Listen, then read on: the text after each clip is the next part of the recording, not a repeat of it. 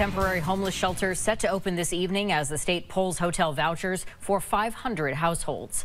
Thanks for joining us. I'm Cat Viglienzoni. And I'm Ike Bendavid in for Darren. Vermont Legal Aid has filed a lawsuit to prevent vulnerable Vermonters from being kicked out of hotels. But the state is moving forward with the temporary shelters, and we got to look inside today.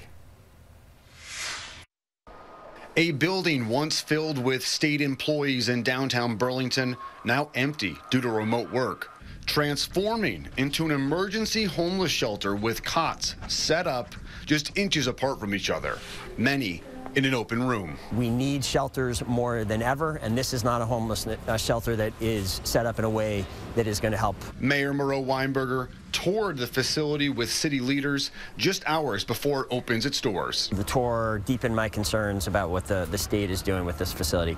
These cots are being made available in Burlington and at shelters in Berlin, Rutland, and Brattleboro for about 500 households being forced out of the state-funded hotel rooms due to the seasonal end of the wintertime adverse weather voucher program. But this buys people more time. Uh, we could just do what we've done every year pre pandemic, which is to do absolutely nothing. The shelters will be open for about a week and only at night.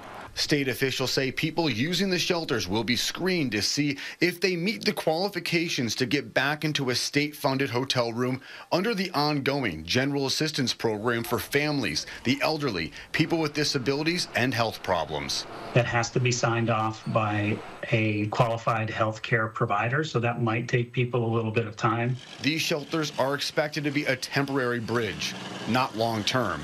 But as communities prepare to help Vermonters in need, there's a lot of confusion on the last second rollout in locations that are not built to house people.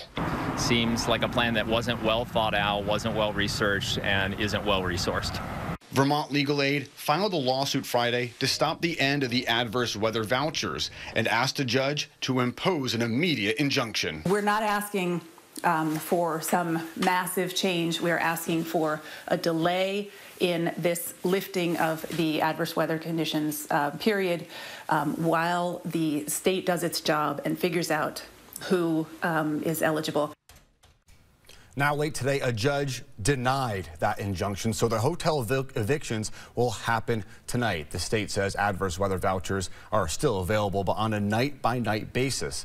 They say this is the way the homeless hotel program operated before the pandemic created a year-round voucher system.